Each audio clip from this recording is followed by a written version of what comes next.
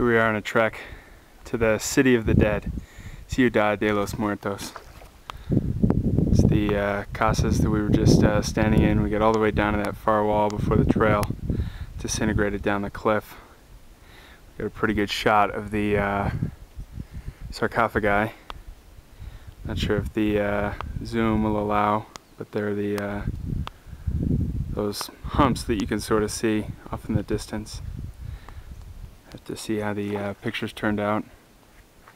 It's a uh, huge cliff that we uh, sort of wound our way down. And uh, now we're standing among the ruins of the City of the Dead. One of the houses still had bones in it.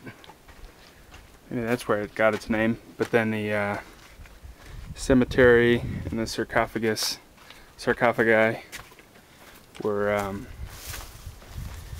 uh, a little farther down. And the uh, sarcophagi, our guide was telling us, was for the um, important people uh, who were here before the Incas.